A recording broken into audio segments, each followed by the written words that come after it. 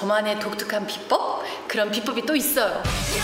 평범한 주부였던 그녀는 다이어트 후 모델의 꿈까지 이뤘는데 한참 쪘을 때는 뭐 70kg 중반이 넘어섰었죠.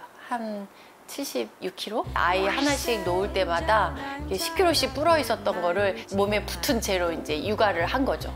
그러면서 인스턴트도 먹고 빵도 먹고 무조건 단 거를 먹으면서 약간 이제 기분을 호전시켜 보겠다고 그렇게 한 게 그게 이제 살이 된 거죠. 20대 초반에 지방에 있는 미인대회를 나갔는데 입상을 하면서 모델 활동을 하다가 금방 이제 시집을 가게 된 거죠. 그동안 그녀가 좋아했던 자극적인 단맛을 버리고 은은한 단맛에 적응하자 다이어트가 절로 됐단다.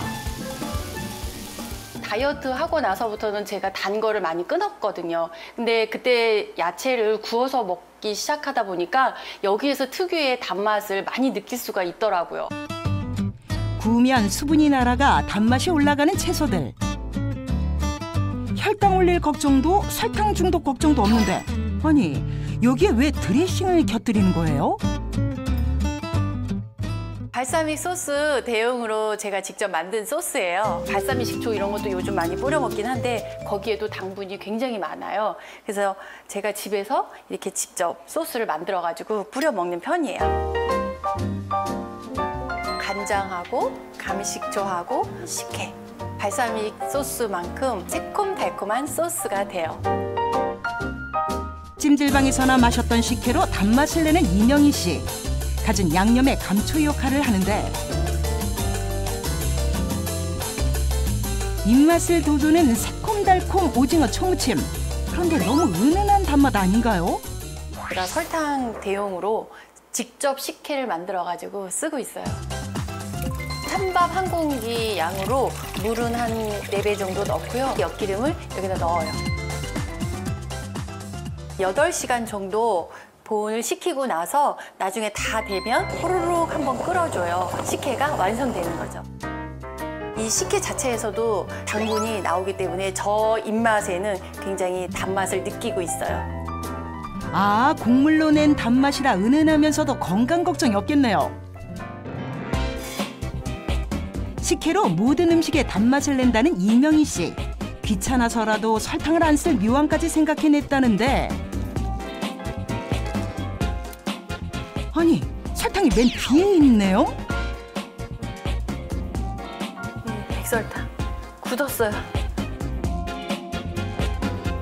저거 진짜 좋은 방법 같아요. 너무 귀찮아서 설탕을 안 넣게 될 것 같아요. 멀리 해놓은 게 굉장히 좋은 방법 같아요. 건강과 단맛을 동시에 만족시키는 식단. 은은한 단맛으로 18kg 감량에 성공한 그녀. 그런데 간식이 웬 말인가요?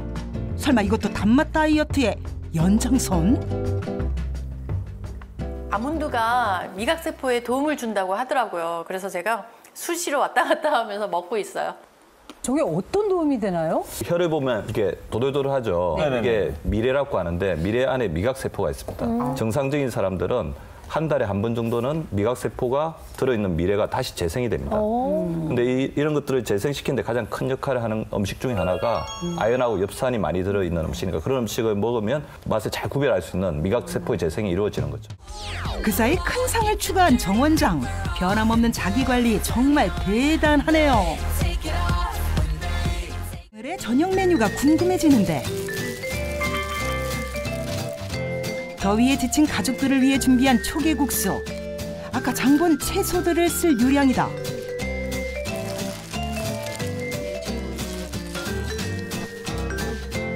건강하지만 특별한 맛은 없는 채소들.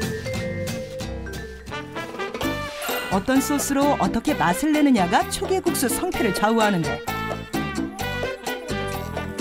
면은 좀 건강하게 메밀면 선택하고 그다음에 이제 소스는 조금 건강하고 새콤달콤하게 혈당 관리 중인데 새콤달콤? 새콤한 식초를 살짝 넣는 것까진 좋은데 이거 지금 혈당에 저 설탕 아닌가요?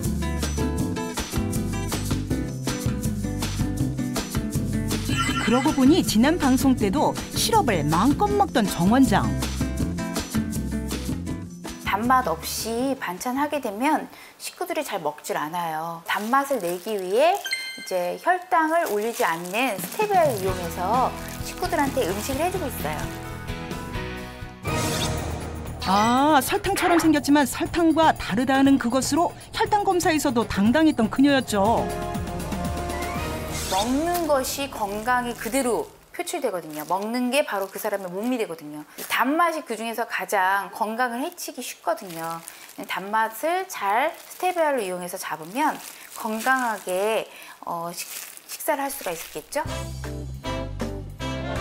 단맛을 아예 멀리 하면 좋지만 쉽지 않은 일이라 단맛을 낼 때 도움을 받는다는 스테비아. 허브에서 추출한 원료로 만든 천연 감미료 스테비아.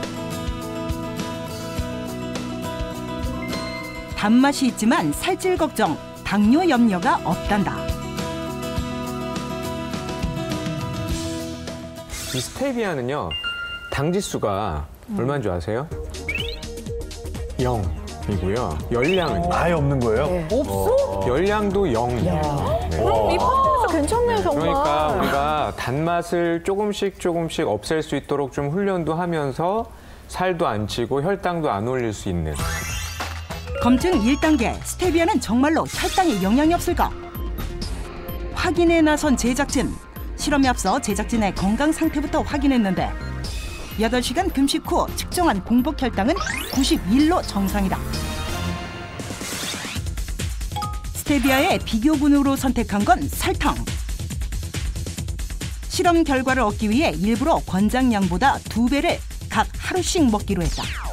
실험 1일차 다른 음식 없이 설탕만 권장량보다 두 배를 먹고 다음날 휴지기를 가졌다. 실험 3일차인 같은 방법으로 동량의 스테비아를 섭취한 뒤 각각의 날마다 혈당을 점검했는데 과연 그 결과는 어떻게 나타났을까? 스테비아와 달리 설탕 먹은 날에는 제법 상승한 혈당 수치. 스테비아가 혈당에 영향을 미치지 않는다는 결론을 얻었다. 서울의 한 헬스장. 40도를 오르내리는 더위에도 아랑곳하지 않고 구슬땀을 흘리고 있는 한 남자. 3개월 전만 해도 97kg까지 나갔었고요. 지금 관리해서 이렇게 됐습니다. 25kg을 감량해 5도 비만에서 탈출한 김태성 씨. 불과 3개월 전까지만 해도 체중이 97kg에 육박하는 과체중이었다는데 30대 초반에 켜진 건강 적신호. 외모가 아닌 살기 위한 다이어트를 시작했는데 세 달 만에 25kg 폭풍 다이어트에 성공. 현재는 정상 체중을 유지 중이다. 워낙 설탕이 많이 들어가는 음식을 드셔가지고 최대한 배제시키고 엄격한 식습관과 그리고 몸에 부담이 안 가는 수준의 운동을 병행했습니다. 그게 큰 효과를 거두었던 것 같습니다. 냉장고 앞에서 망부석이 되어버린 태성 씨. 뭔 일이죠? 예전 같으면은 그냥 열어서 먹었을 거예요. 근데 그렇지 않았고 지금은 좀 더 생각하고 어, 이게 진짜 배고픔인지를 좀 구별해서 행동을 좀 하고 있습니다. 먹기 전엔 일단 참은 뒤 숙고의 과정을 거친다. 만약에 먹게 됐을 때도 어, 좀 건강한 쪽, 그러니까 섬유질이라고 하죠. 그런 걸 먼저 다 먹어요. 단 것을 정 못 참겠다면 먹되 제일 마지막에 먹는다. 그리고서 남는 걸 봤을 때, 어, 그덜 먹게 되죠, 아무래도. 그러니까 배가 어느 정도 찼을 테니까, 어, 덜 먹게 되니까, 어, 효과적인 방법 중에 하나라고 생각을 합니다. 하지만 이렇게 자신을 통제한다고 해서 당장 단맛 생각이 사라질 리 만무. 그럴 땐 대체 식품이 답이다. 콜라나 커피가 굉장히 간절합니다. 예, 굉장히 간절한데, 예, 뭐, 생각이 안 난다 그러면 뭐, 거짓말이고, 최대한 자제하려고 하죠. 제 건강을 위해서 자제하려고 하고. 단계 단계일 땐 심신 안정이 좋은 차가 제격. 강렬한 욕구가 사그러든다. 원래 뭐 초콜릿이나 과자나 그런 거 먹으면서 예, 막 자기 위안을 하고 예, 그러고 있을 시간인데 예, 이렇게 요즘엔 차를 마시고 있습니다.